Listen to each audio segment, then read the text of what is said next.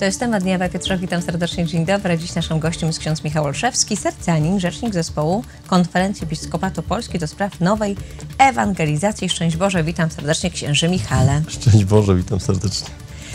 Nowa ewangelizacja, wspominał o niej niejednokrotnie święty Jan Paweł II. Co jest jej istotą? E, Poszukujemy nowych metod i nowych sposobów na to, by z tą samą Ewangelią Jezusie z Nazaretu dotrzeć do człowieka współczesnego, m, który mm, egzystuje w określonych ramach mentalnościowych, e, e, też no, osadzony jest w tym, a nie innym, w takiej, a nie innej rzeczywistości. No i na pewno mm, reaguje też troszeczkę na inne bodźce niż ludzie 30 czy 50 lat temu, więc szukamy nowych sposobów. Czyli tak, nowa ewangelizacja, nowe technologie, środki społecznego przekazu. Przede wszystkim e, w Polsce myślę, to jest niesamowite, że udało się zagospodarować media, udało się zagospodarować internet e, na skalę, którą chyba na świecie się nie spotyka w przestrzeni ewangelizacyjnej. Mnóstwo portali, e, telewizji internetowych, rozgłośni radiowych, które promują treści ewangelizacyjne i sam na co dzień tylko tym się w zasadzie zajmuję. Głoszę rekolekcję, jestem odpowiedzialny za grupę Profeto, która na celu ma właśnie ewangelizację przez, e, przez internet. E, I nie tylko też, tak, bo to już rozgłośnia radiowa, już nie tylko internetowa, ale, ale i FM-ie, e, no widzimy, że to przynosi ogromne owoce i, i te metody e, skutkują. Niedawno e, rekolekcje, głosiłem rekolekcje weekendowe i, i przychodzi do mnie w przerwie konferencji dziewczyna dwudziestoparoletnia i mówi, proszę księdza, czy ksiądz mnie może teraz w przerwie ochrzcić? I ja mówię, jak to ochrzcić? No, okazało się, że y, była nieochrzczona, trafiła na rekolekcję online w internecie, później postanowiła zapisać się na takie realne. No i po drugim dniu ona mówi, ja chcę być chrześcijanką, chcę, żeby mnie ksiądz ochrzcił. I to jest owoc nowej ewangelizacji. I to jest przykład na to, że nie kończy się na internecie, tak? Niektórzy się bali, że będziemy wyciągać ludzi z kościołów, że oni nie pójdą na rekolekcje. Nie, nic z tych rzeczy. Nawet przygotowując kolejne serie rekolekcji internetowych, e, no zawsze podkreślamy to, że internet jest przedsionkiem ewangelizacji i zapraszamy ludzi do tego, by realnie... Nieźle zagospodarowanym. Czego Tak. przykładem jest ksiądz Michał Olszewski czy ojciec Adam Szóstak, prawda? Tak, ale ja myślę, że y, wielu innych dzisiaj, może przed latem myśmy zaczynali, tak? Natomiast dzisiaj, no to już na tylu polach y, tyle osób głosi, że, że to tylko się cieszyć. Ja pozdrawiam teraz naszego wydawcę Karolcie i Karola ma takie pytanie, co zrobić, żeby być takim popularnym kapłanem dzisiaj? Od czego to zależy? To trzeba by ojca Szóstaka zapytać. Ale pytam też księdza Michała Olszewskiego.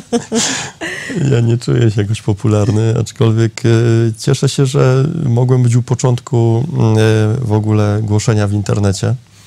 Y, trzeba No są takie troszeczkę- osobo- osobowości VIP, prawda? W naszym kościele, popularni księża, kapłani. Natomiast ja myślę, że przede wszystkim e, radością jest wielką, jeśli znajduje to, co robimy, znajduje odbiór, tak?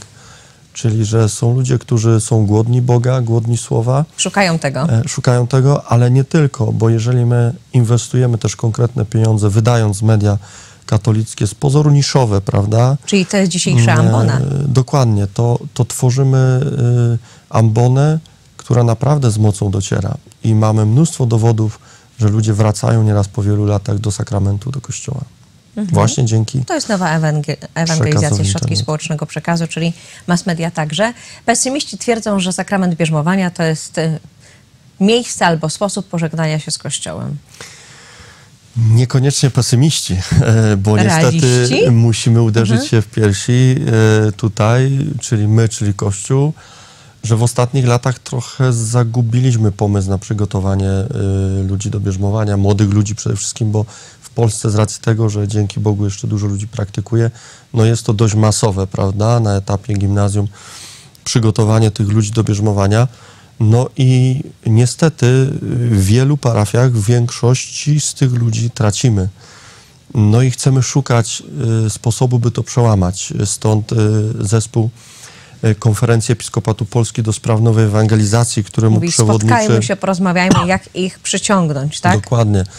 E, Przewodniczył arcybiskup Grzegorz Ryś, który jest nieodłącznie związany z nową ewangelizacją, który, któremu bardzo zależy na młodych ludziach. E, Dzisiaj rozciągają się przed nim nowe perspektywy jako ordynariusza metropolity łódzkiego, ale wierzymy, że jakby z tej ścieżki nie zejdzie i dalej będzie tym e, motorem.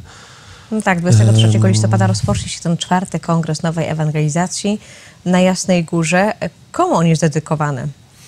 Chcemy zaprosić, e, nie tylko, chcemy zaprosić e, wszystkich, którzy w jakimś sensie um, pracują z młodymi ludźmi w procesie przygotowania do bierzmowania, do sakramentów.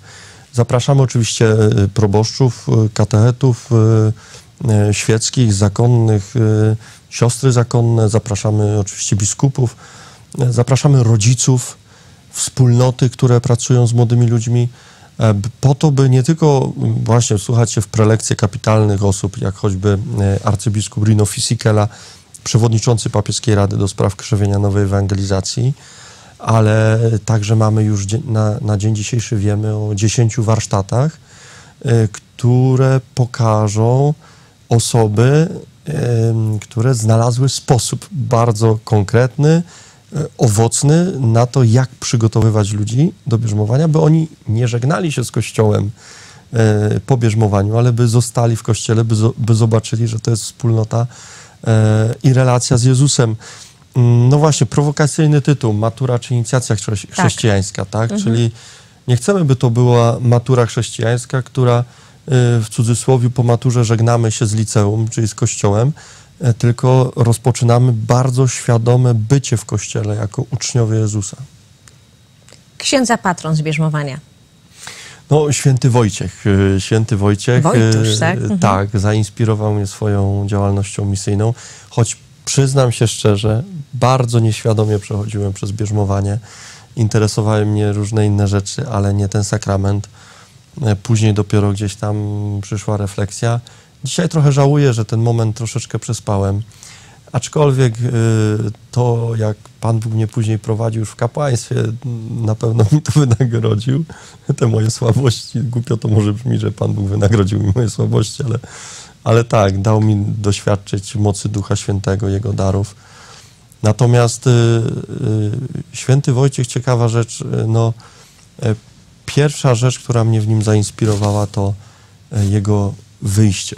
E, czyli, że on po prostu był w tym ruchu e, i w tym głoszeniu, że, że nie zatrzymał się w miejscu, skończył męcze, męczeńsko, ale zainspirowało mnie wtedy, pamiętam, zafascynowało mnie to wyjście do ludzi u niego.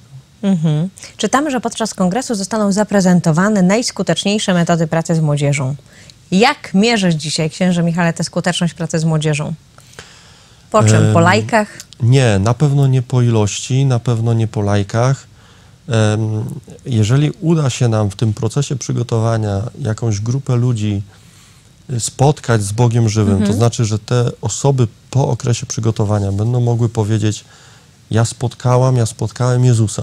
Żywego żywego Jezusa, tak, który nie jest wspomnieniem historii, ale jest żywym Bogiem w żywym Kościele, to o to chodzi.